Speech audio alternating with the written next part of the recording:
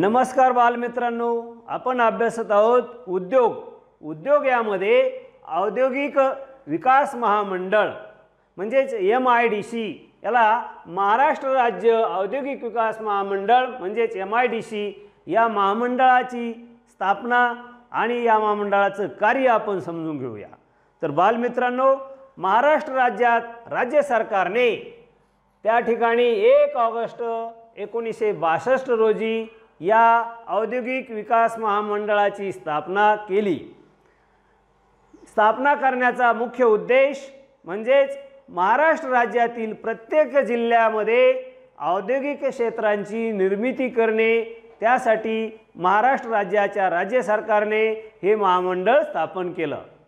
या महामंडळाच्या स्थापनेनंतर त्या ठिकाणी राज्यातील प्रत्येक जिल्ह्यामध्ये उद्योगांचं विकेंद्रीकरण करणे अपेक्षित होते. आणि त्या दृष्टीने त्या ठिकाणी प्रयत्न के झालेले आहेत.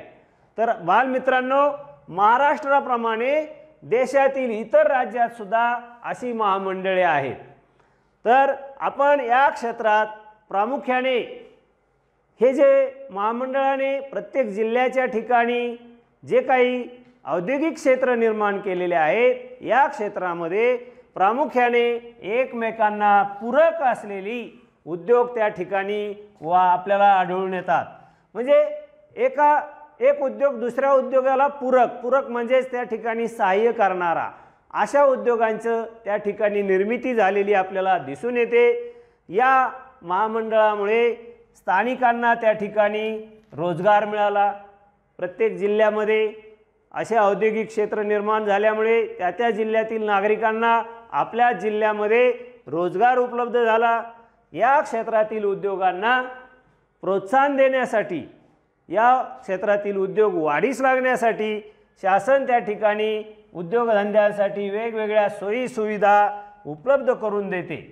तर बालमित्रांनो अशा प्रकारे उद्योगांच्या विकासासाठी उद्योगांच्या विकेंद्रीकरणासाठी आपल्या महाराष्ट्र राज्याने एक ऑगस्ट एकोणीसशे बासष्ट रोजी महाराष्ट्र राज्य औद्योगिक विकास महामंडळ नावाचं त्या ठिकाणी महामंडळ स्थापन केलं. याविषयी तुम्ही परीक्षेच्या दृष्टीने तयारी करून त्या ठिकाणी अभ्यास करा. धन्यवाद.